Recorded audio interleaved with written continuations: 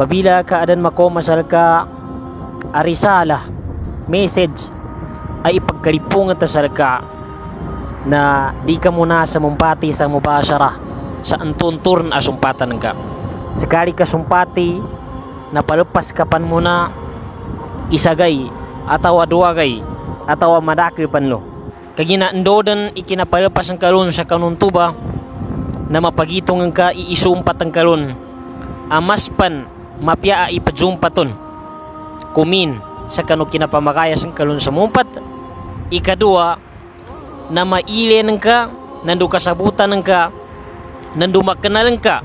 Sa didambasan ito nasisita apat jumpatan kadabon tapakin apat jumpatan wa khitaman ta'allam mata tatakallam wa mata tasmut wassalamu alaikum warahmatullahi wabarakatuh